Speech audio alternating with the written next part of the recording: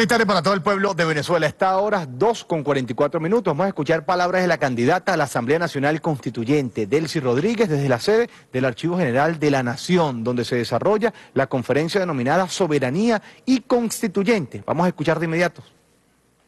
Como lo ha llamado el presidente Maduro, estamos frente a un gran desencadenante histórico. Va a marcar un hito en la historia contemporánea de Venezuela. El presidente convocó al poder constituyente originario justamente para que con la sabiduría del pueblo, con la firmeza del pueblo venezolano, podamos avanzar en la superación de la coyuntura actual, pero también en la modulación de un nuevo marco del Estado de Derecho para que podamos conformar una nueva forma de estructura del Estado enfocada a objetivos muy específicos que están en el decreto de convocatoria de esta constituyente. En el caso de hoy, yo quiero agradecer al Centro Nacional de Historia, del profesor Pedro Calzadilla, porque abordaremos uno de los eh, objetivos esenciales de esta constituyente, como lo es la soberanía y el poder constituyente original. Se abre un gran debate a nivel nacional. ¿Qué significa la constituyente? Significa lo máximo de la batalla de las ideas. Vamos al diálogo, al diálogo nacional, al diálogo de todo el pueblo de Venezuela, frente a la violencia, frente a la intolerancia, frente al odio, frente a las balas, se impone la necesidad de un entendimiento nacional. Eso significa la constituyente. Yo no creo que exista un venezolano o una venezolana que no esté de acuerdo en que dirimamos las diferencias mediante el diálogo.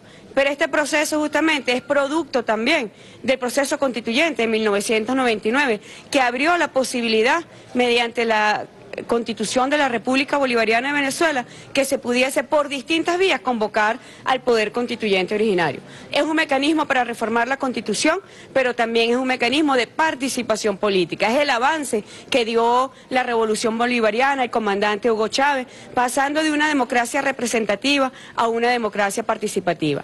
El 30 de julio, gracias al presidente Maduro, estaremos en ejercicio justamente de la democracia participativa. Vamos a vencer la violencia, vamos a vencer a esas cúpulas opositoras que pretenden imponer un conflicto interno en Venezuela, que pretenden imponer un conflicto bélico para hacerle juego a la intervención internacional. Bueno, desde acá un llamado.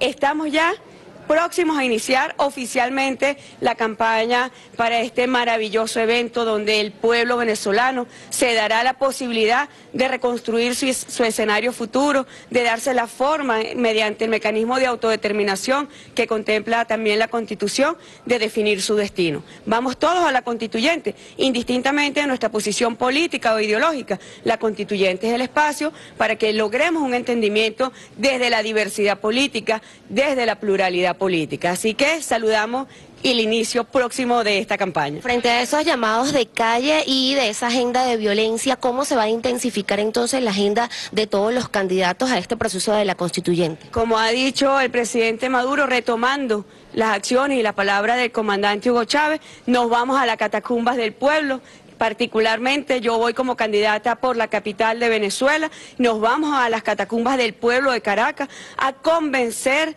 a intercambiar y a definir el destino de nuestra patria.